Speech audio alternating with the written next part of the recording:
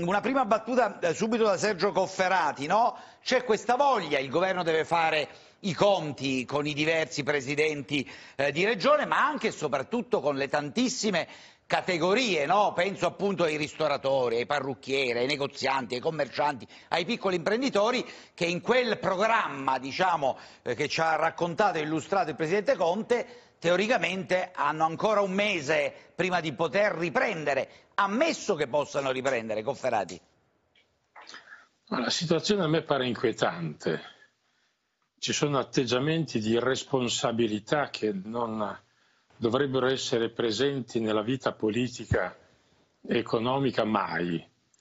Oggi ci sono e condizionano enormemente anche i comportamenti delle persone si continua a parlare con grande insistenza della ripartenza, salvo poi non discutere minimamente del come ripartire.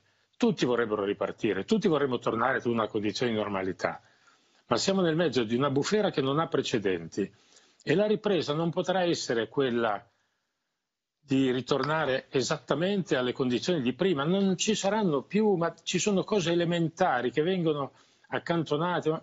E poi c'è questo atteggiamento dove l'interesse politico di breve periodo eh, cancella le ragioni di un intero paese.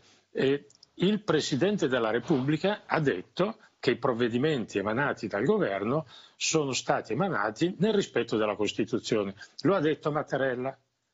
Ora, io penso che sia importante in ogni caso poi coinvolgere le persone, avere un consenso largo per cui credo che sia giusto aggiungere ai DPCM anche altri provvedimenti che transitano dai percorsi normali della democrazia, compreso il Parlamento.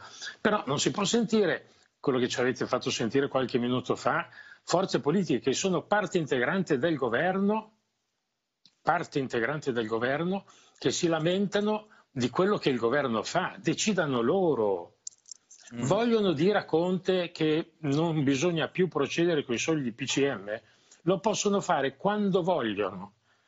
Se lo fanno in Parlamento e solo in Parlamento è demagogia, è utilizzo strumentale di una condizione di oggettiva difficoltà che può essere risolta. Eh, no, Poi guardate che il lavoro di dopo non sarà più aspetti, quello di aspetti, prima. Aspetti, sul lavoro di dopo ci arriviamo.